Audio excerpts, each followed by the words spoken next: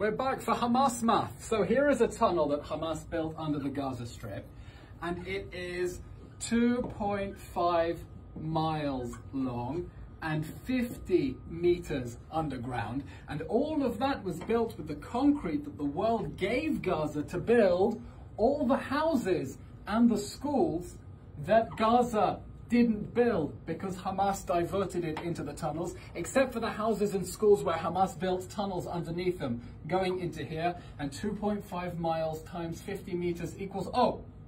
zero condemnations from the United Nations about Hamas stealing international aid to build the terror machine it used on October 7th.